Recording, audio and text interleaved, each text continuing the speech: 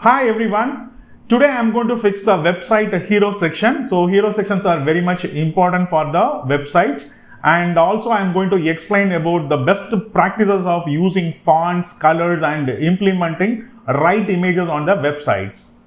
Alright, so in this presentation I am using Figma and you can use any design tool whichever is your favorite or your convenient and you can also do the same thing. Alright, so let's get started.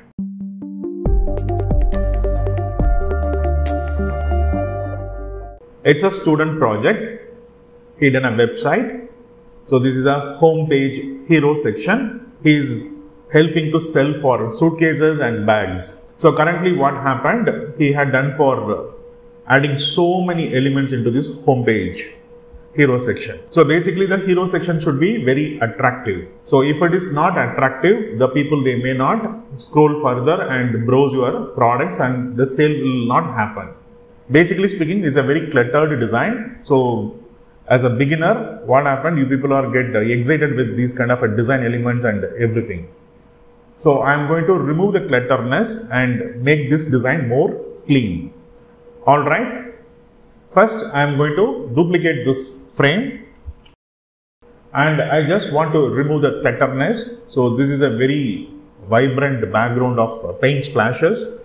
Basically here, if you want to sell the suitcases, you have to focus the suitcases and bags. But here what happened, this background of this paint splashes are distracting to the users. So first thing is I am going to remove that. Alright, so now it's been kind of clean. So the suitcase is showcasing very much well and uh, this part is somewhat somehow has been clean. Alright. So now I'm going to fix this the top area. So here he had uh, some two semicircles. I'm going to delete that also and so here he kept some vintage bags and the modern bag bags. So at the moment what I'm going to do that I'm going to keep it aside. I don't want this being here inside the design. Alright, so now my design is something is little bit clean and the major next one here.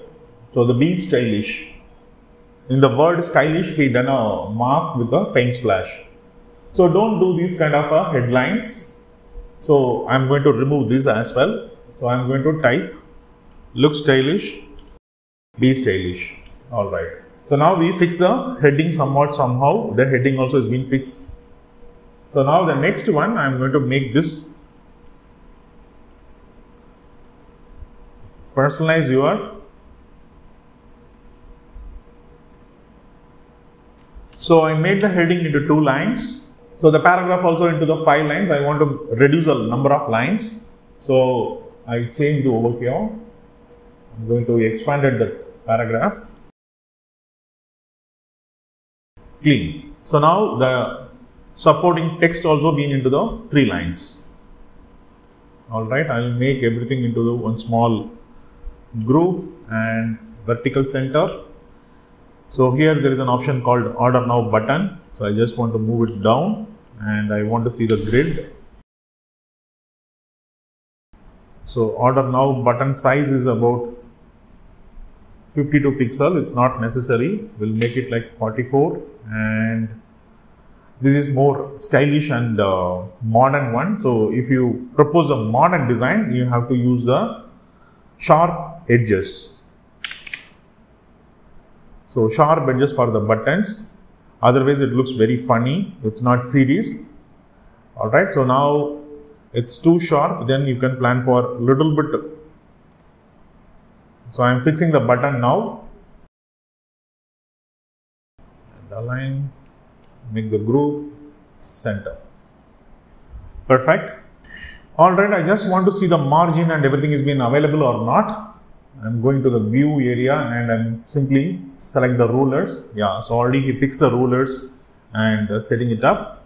Now this girl photo and I just want to make it a little bigger of the photograph. Yep. So this level is okay and now I'm coming to this header section. So header section the logo has some sort of a extra margin. So but we have to fix with along with the margin so that I move the logo into the left hand side towards to the margin. So now I fix the logo on the margin side. Now this section, so this is currently he kept it into the auto layout mode, but uh, these kind of a header menu items is not required into the auto layout mode in a web design. And what sort of a font? Still I'm not coming to the font. First I'm fixing the layouts only. So I simply move here and make it as spacing. Then this login button. So login button I'll move towards to the right and also this button should be same something like corner radius should be sharp all right. So now somewhat somewhere we have fixed the layout. Next i'm going to fix the fonts. All right. So he is using poppins but is a semi bold in the menu section this 16 font is good but the semi bold is not required. You can make it like uh, regular or medium. That is enough. Alright I'll keep it as a regular here. And this fonts and group everything again ungroup and this one also regular. And this one is bold and yeah. Again is a regular. It's fine. And this font if you want, you'll make it like bold and size would be 16. I'm going to reduce the button width.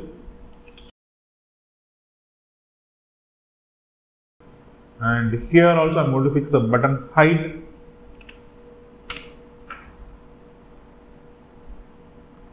What is there in the groove? Oof. All right. So fix the height of the button then align then width of the button is 88 I'll make it like 96 all right then mixing make a groove and I want to fix everything on align properly. So I'm drawing one small rectangle in a vertical aspect. Yeah I fix the alignment as well. Now all the font colors. So now I'm going to implement the colors. Here what happened, everything is used as a full black. So don't use this full black 000. Basically this entire look and feel is about a little bit warm and a little bit dark. So what we can do this, we cannot implement this sort of a black color over here. So this is looks very dark and too strong over here. So what I'm going to do that, I'm going to pick one color from the same photograph. But if you are going to do it for any uh, clients, you have to implement the client's brand colors. But currently here for the demonstration purpose, I am going to pick the color from this suitcase. So that is a very dominant color. So we need one strong color for the typography. So currently I am implementing that text color into the heading section. And this is also very little bit strong. So currently I am into the HSL mode. I am going to fix this with the lightness only I'm going to play. So I'm going to little bit uh, darker and uh, saturation also I'm going to reduce the saturations. Perfect. So now it's almost fixing this color along with almost this image color.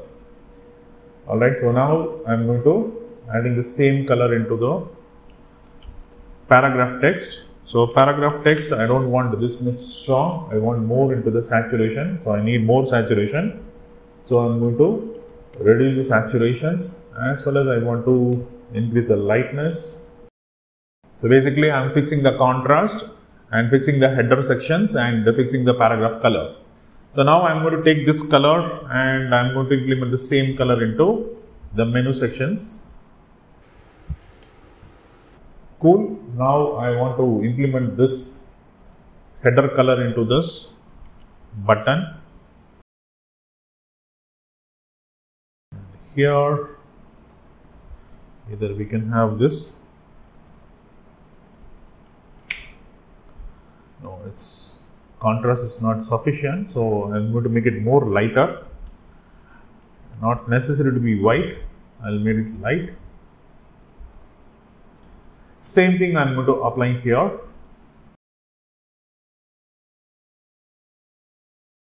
Alright, so now we fix everything here. So we fix the font, we fix the menu section, we fix the header sections and paragraph and buttons.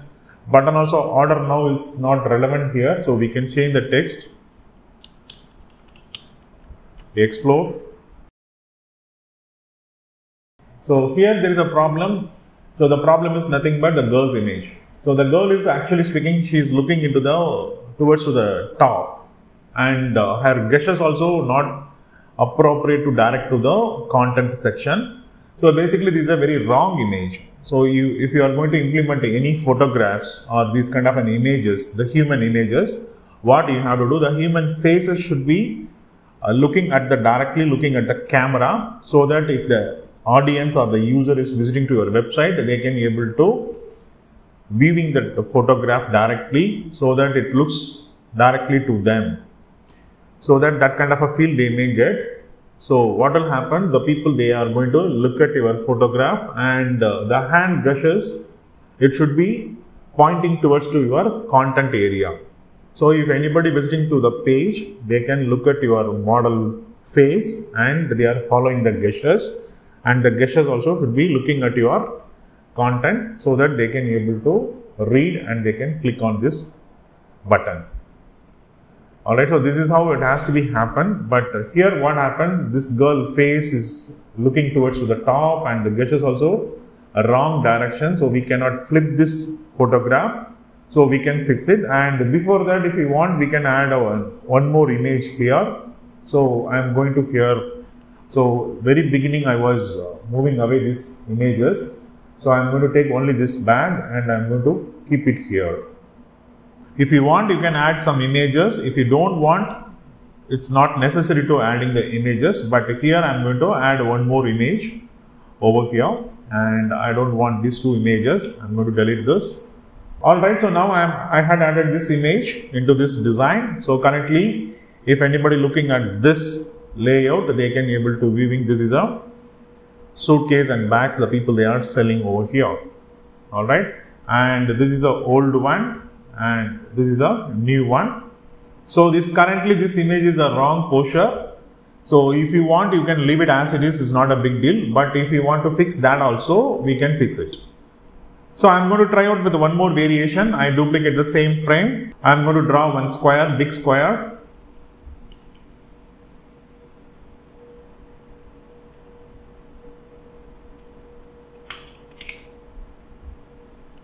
Then so I move that into this below the layer. Now,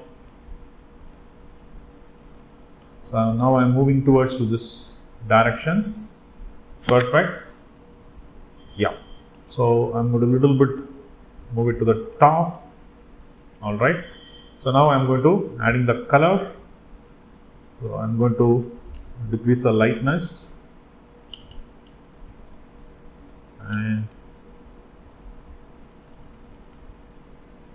If you are going to adding the direction oriented layout, then what will happen if the people they are looking this image, then they are moving towards to the directions. This direction is pointing out our hero content section so that the people they can able to read it very easily and they can able to explore your products. So I told you earlier, so if you want you can leave this design as it is, but you have to change the photograph but if you don't want to change the photograph, if you want to stick on the photograph, you have to add this sort of a layout and you have to fix the design. Alright, I just want to showcasing you the beginning to the end. So this is what the design. So I'm fixing this design into this sort of a layout and I fix this with almost appropriate manner I hope you like this topic and if you have any queries or thoughts, you can share it on comments. I will respond it there. And also I'm going to catch you soon with another interesting topic. Until then, bye-bye.